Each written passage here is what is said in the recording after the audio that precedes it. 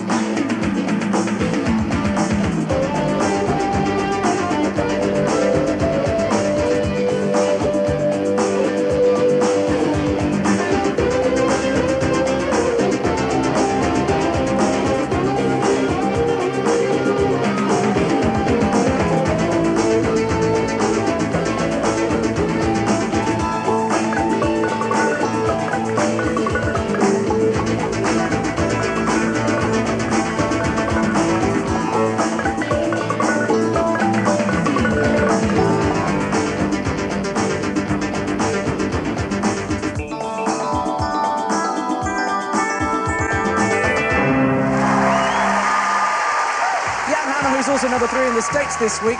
Okay, Crockett, it's all yours. now let's have a look at the British charts from number 40 to 11.